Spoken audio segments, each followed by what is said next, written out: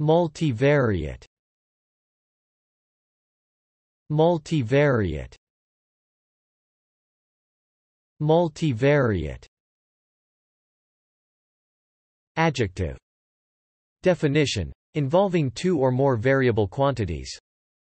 Example. In multivariate analyses, dummy variables are used to control for gender. Thanks for watching this video. Be sure to subscribe to our channel to get more free learning resources.